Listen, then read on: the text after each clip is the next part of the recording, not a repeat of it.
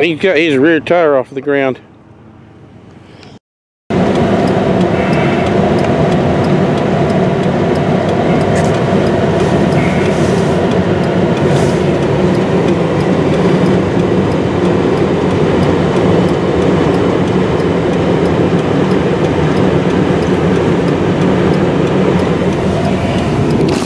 Kids having fun.